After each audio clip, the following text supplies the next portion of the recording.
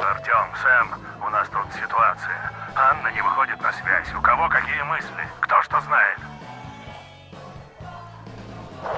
Товарищ полковник, она вроде антенны вон в двухстах метрах от Авроры осмотреть хотела. Что-то там ей показалось.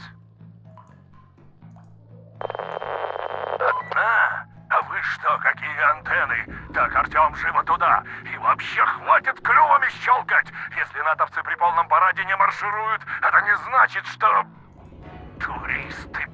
Конец связи.